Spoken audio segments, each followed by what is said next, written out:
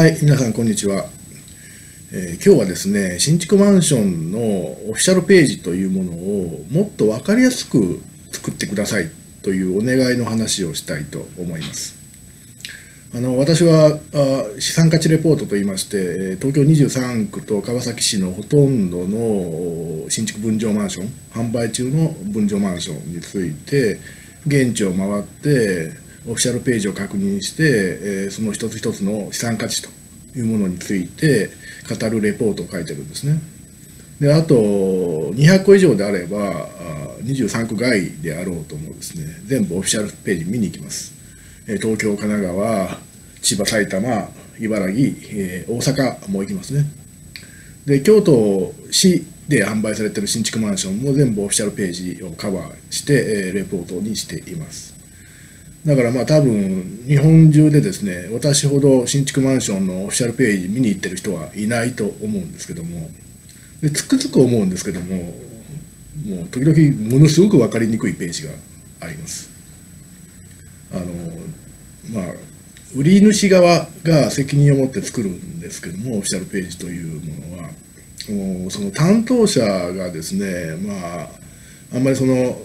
言いましょう理解の薄い人だと自分のやりたいように変なページを作っちゃうんですね。非常に分かりにくい、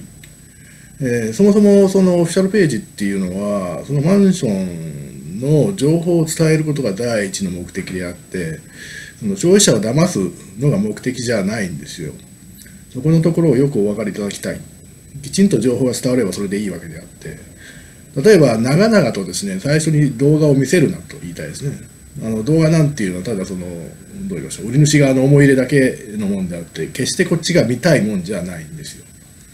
まあ一通り見た後でああじゃあゆっくり見てやろうかぐらいの気持ちになる場合もありますけどもそうでない場合はほとんど意味がないわけなんですね。でそこに、えーたくさんお金をかけて動画を作ったりしています。であともうやたらとその見にくくって自分の見たいところにこうなかなかこうアクセスできないページがあります。例えば一番大事な情報っていうのはどこにあるかなんですね新築マンションが。だからあの現地案内図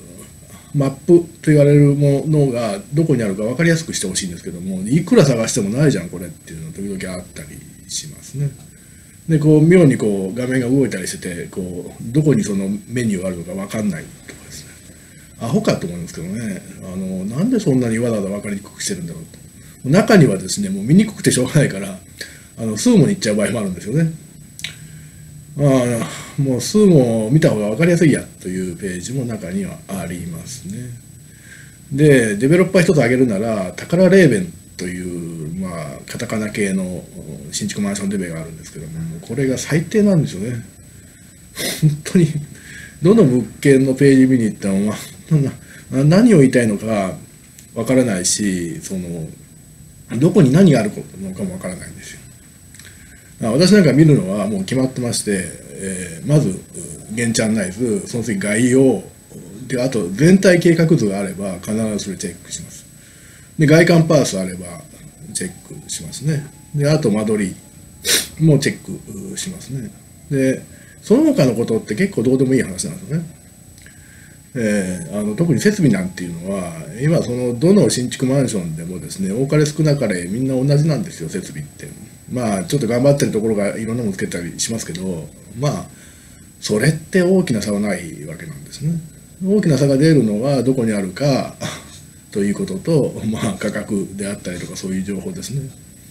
であとどういうその計画なのかと。まあ、長谷湖のやってるでっかいマンションだったらどの物件も同じなんですけどもちょっと小さいマンションだとそれぞれ工夫をしないといけないもんですからあの計画図見ないとですね、えーうまくやってるのかそれとも住みにくいマンションなのかっていうのはわからないんですけどあの都合が悪いとね計画図なんか出さないんですよね。まあ売り主さんは。ちゃんと出してくれればいいものを。で自信がある場合ね前後南向きとかって言ってちゃんと南が抜けてる場合はちゃんと出してくれるんですけど。出してくれないともう我々はですね特に私は CD パースなんか見ながらこれこっち向きの重機はここについてるのかなと思って考えながらこの資産価値を分析しています。要はねあの売り主さんって出したくないものは見せたくないものをなるべく見せないでおこうとするんですね。それ非常にこうコンシューマーに対して一般消費者に対して誠実な態度とは言えないなと。もうホームページを見てるだけでですねそのこの売り主さんのどう言いましょうね。何を隠したいのか何を言いたいのか何を見てほしくないのか何を見せたいのかっていうのが本当によく分かります。私からのお願いは一つ分かりやすく作ってくださいということでございます。はいどうもありがとうございました。